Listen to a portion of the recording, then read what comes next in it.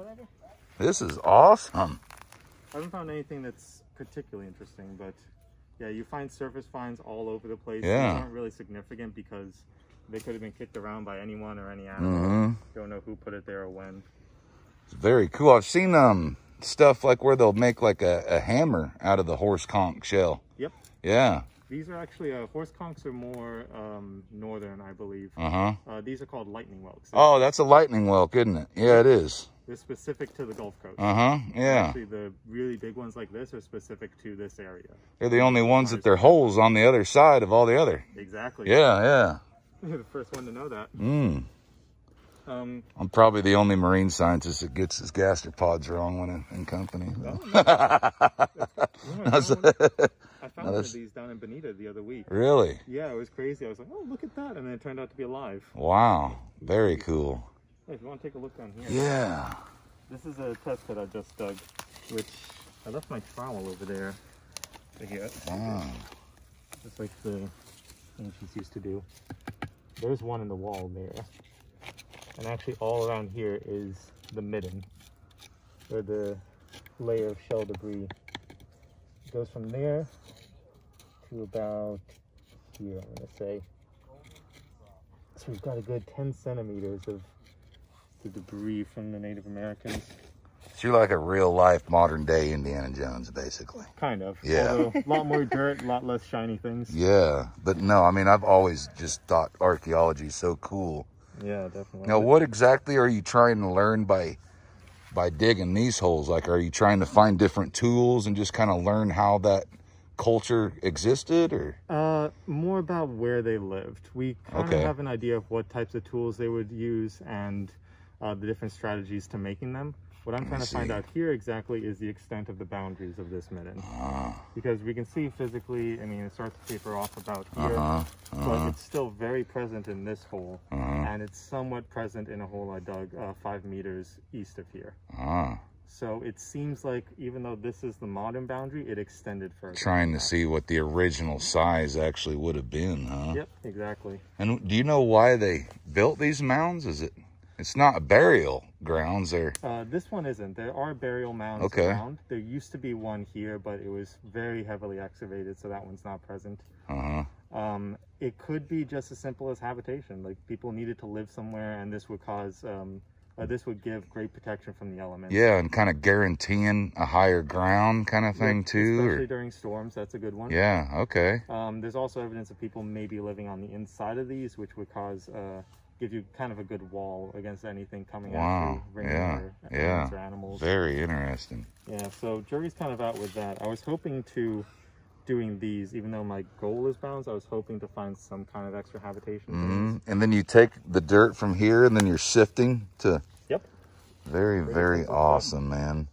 Yeah, sadly no uh, tools or anything. All of these are unworked, Yeah, yeah. but it does show the midden reached out this. And how do you how do you know when they are worked? Like like as far as they have a Uh, there's certain a little knot. Like isn't there a hole where they would have uh where they drive like the stem of the hammer? I, I've seen one at one point, and I can't remember. Yeah, usually there would be a hole maybe around Ah, here. yeah, yeah. It would be very circular, obviously worked. Uh But huh. you have to be careful with that because sometimes there's a hole here or here Uh huh. with, with what's called the kill hole. Ah, Uh, yeah. These gastropods need that Mhm. uh, suction to be able to control themselves. Mhm. So if you break the shell in any way, the animal dies. Mm-hmm.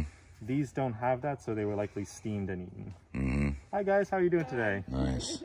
Come on, join in. I'm showing off some of the archaeology. On Yeah, site. this is cool. Is this where you dug? Yep, that's my latest test pit. Um, just about to finish up, so you guys came at a good time. Uh, just showing off, just to recap. Right now I'm studying the boundaries of this midden here. We're finding a lot of cool things, including lightning whelks, which these were used to make tools uh, by the Native Americans. They would make the tools by hafting it to a... Still plenty of dirt in this one. They'd make the tools by hafting it onto a stick. So if I could grossly you would start by putting a little notch here and then the stick could travel through and that makes a pretty good axe or a hammer. Now these aren't worked, but you'd be able to tell through scarring on the top here. Or if it was an axe, this long nozzle would actually be cut off about there Mm. and then ground down. So very That's cool. cool. I Very didn't know interesting that tools. about the axe part. Uh, the reason we find shell tools in Florida, though, I know most people, when they think of Native Americans, they think of arrowheads and stone axes. You don't have stones in Florida. So instead, they were uh, had a little bit of ingenuity and started decided Yeah, to use shells yeah. instead. And they actually used shells to create this entire ridge here. If you guys have walked around already, you might have noticed it's a little odd to have a hill in Florida. Yeah. Uh, this was created by the Native Americans in uh, 1300 BC. Wow. It's, I believe, 16 feet high at the top. Guptill House Wow. is put on the western peak, and the eastern peak is uninhabited. Although in uh, the 80s, they did some archaeological research on the eastern side, and they found post holes as well, showing the Native Americans, on top of building this, actually created houses and built structures Wow. on top of it. And it being 3,000 years old, who's to say it wasn't 25, 30 feet tall Yeah, back when it was actually occupied? Yeah, You know, with the erosion and the weathering and settling. That's very cool. Yeah. So who knows? Maybe my work here, trying to figure out how much uh, it eroded already, we can work out Yeah, kind of exactly. figure that out. That's so cool, man. Very cool. Are, are you still studying as far as in school or, or all done with that part of it? Yep, I'm actually doing this internship as part of a course at Florida Gulf Coast University. Awesome. I'm in my last year there now. I've got three more classes, so Very close. cool. Very cool, man. It's always worth it, dude. Yeah, definitely. So, but yeah, after that I get my bachelor's, and then moving on from there, we'll see what happens. Yeah. Awesome. There's always more to learn with this stuff, and archaeology in Florida is incredibly interesting. Yeah. If you guys want to see more of this stuff as well, my supervisor Amy Dwyer is on the other end of the site, uh, showing off the point excavation, which actually a group of uh, students at Florida Gulf Coast University are doing.